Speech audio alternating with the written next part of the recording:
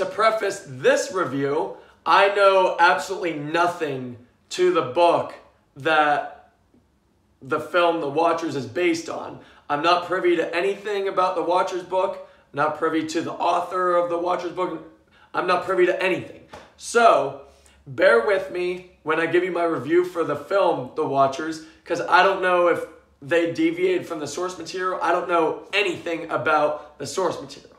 Now, The Watchers, I believe, is the very first directorial and writing debut for M. Night Shyamalan's daughter. Uh, I believe her name is Ishana Shyamalan. This was also produced by M. Night Shyamalan.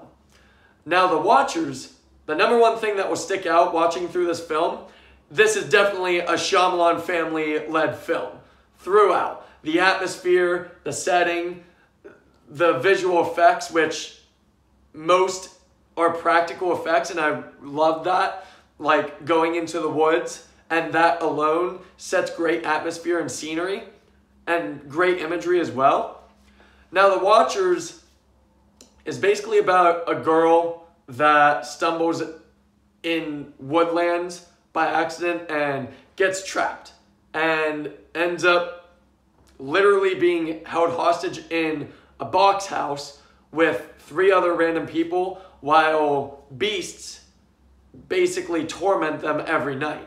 And they have to kind of figure out first how to get along and live together, and then finally realize they're sick of that life and they try to find ways to get out. Now, this film honestly is shot beautifully. It's filmed beautifully. This is a Shyamalan film through and through. The practical effects, and there are a lot of them, even just the setting itself. I loved how this film looked. I loved how this film is shot. I love that 90 to 95% of this film looks realistic because, again, practical effects are real.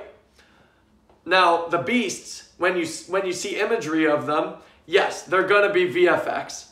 That's just because the imagery of the beasts are the beast being in fog, in darkness, so that you can't really do much with practical effects with that. So the beasts are basically CGI, I'd say. Now, the story, as I've already prefaced what it's about, I thought it was okay.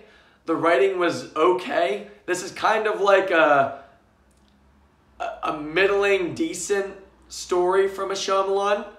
And the acting is okay. Nobody really is given anything to go way over the top with, but they all do fine jobs for what they're given. And the story as well goes through actually backstories for everybody, including the creatures. And I did appreciate that about the story and the writing. I'm not entirely sure why the critics seem to hate this film because while this isn't a great film by any means, this surely is not a terrible film. I've seen terrible films. Terrible films look like garbage.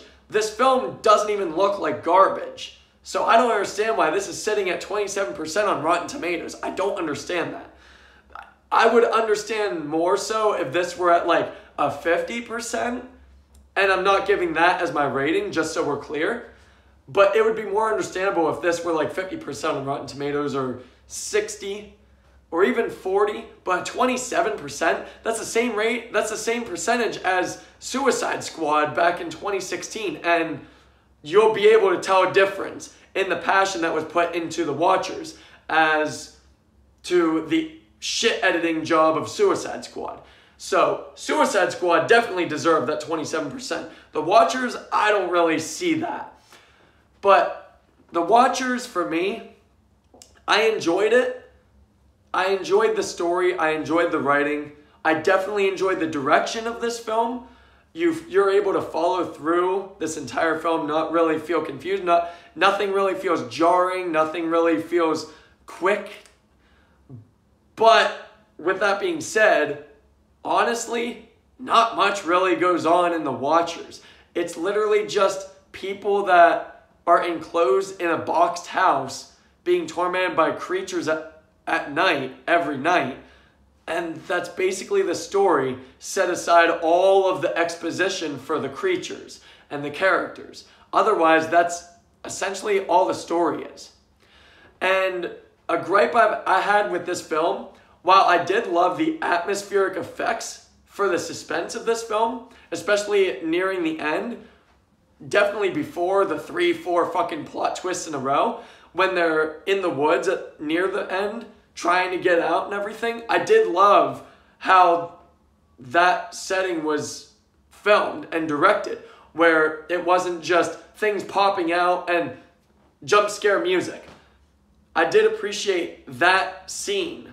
Now, before that scene, a whole lot of this film definitely relies on jump scares. And not only are jump scares already ineffective, they're super ineffective in this film. This film basically starts off on a jump scare that doesn't work at all. So, overall, for me, The Watchers, it's not necessarily a great film, but it's nowhere near a travesty, terrible film like critics are trying to tear it apart as.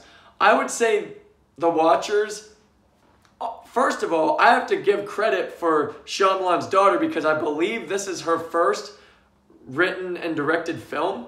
I may be wrong, but I'm pretty sure this is her first one. And I have to give her credit because this isn't a trash, a completely dumpster fire of a film. Whereas 95% of filmmakers out there their very first films tend to be trash, set aside Quentin Tarantino and Denis Villeneuve and Christopher Nolan. But again, I did appreciate that this was a great job for a first written and directed job for a film. But there are a lot of problems with The Watchers, and that's why I have to give The Watchers a 6 out of 10.